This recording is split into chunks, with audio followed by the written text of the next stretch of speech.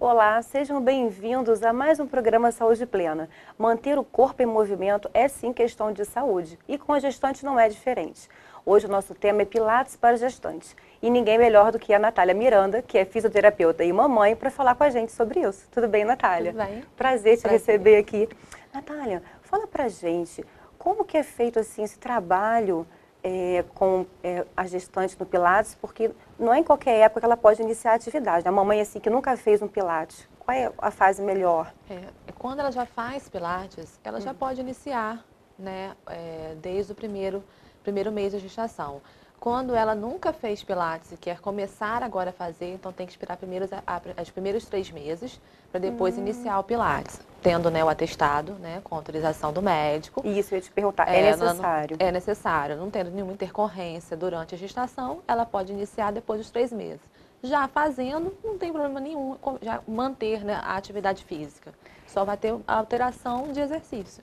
Sim, e a mamãe que descobrir que está grávida também não tem pode... problema, pode continuar. A gente só vai modificar agora que vai ser um pilates focado para gestação. Para gestação. E tem algum, algum exercício, como que é trabalhado o Pilates na gestante? Por exemplo, essa mamãe que descobriu que está grávida, vai deixar de fazer algum tipo de exercício? Vai. É, tem uns exercícios que a gente fala que são contraindicados para gestante, né? É, movimentos de inversão, quer dizer, ficar de cabeça para baixo, hum. né? Não existe necessidade nenhuma da gestante ficar nessa postura é, exercícios de saltos também não tem por que ficar. E com né, a, a estar né, nessa, nessa situação, né, estar uhum. gestante, então na gestação vai ter a, uma liberação de um hormônio que vai causar Aquela uma frouxidão né? ligamentar. Uhum. Onde vai ser frouxidão ligamentar em todas as articulações e principalmente na articulação do quadril, ah, que é a ah, preparação né, do corpo para o aumento do, do útero. Hum, então, entendi. a gente não pode fazer alongamentos excessivos também na gestante por conta dessa frouxidão ligamentar. Então, são esses exercícios que são contraindicados, mas tem, assim, inúmeros benefícios. Né? A gente pode fazer adaptações de exercícios para ah, gestante. Isso eu te perguntar. Né? Que seria para exercícios para trabalho do assoalho pélvico né? É, uhum. Preparando ela para o parto. Exercícios para o trabalho também de abdômen, porque mesmo. Ah, pode fazer abdômen? Pode, ah, não vai fazer sim. abdominal, mas vamos fazer trabalho de fortalecimento para esse músculo de uma outra sim. forma, preparando ela também para o parto e para o pós-parto. Isso até é importante, porque assim, eu tive um, uma gestação um pouco complicada, né? Eu até conversei com você. Então eu não pude fazer exercício físico algum, fiquei de repouso absoluto. E consegui até levar a gestação, mas sem exercício. Eu ia até te perguntar, o Pilates, para quem está com gravidez sem risco, como você falou, né, tem exigência de autorização do médico. Até que ponto da gravidez a gente consegue levar o Pilates? Não tendo intercorrência nenhuma, dá para levar até o final. Acabei de liberar uma é. gestante de 40 semanas. 40 semanas? É, no caso seria para o, é, para o parto né, normal que ela ah, quer. Que bacana. Então, não tendo intercorrência nenhuma, pode ir até o final da gestação. Porque a, o Pilates ele vai ajudar nessa questão do alívio das dores, dos, dos sintomas da gestação, esse cansaço né, que vai ao longo até os nove meses da gestação.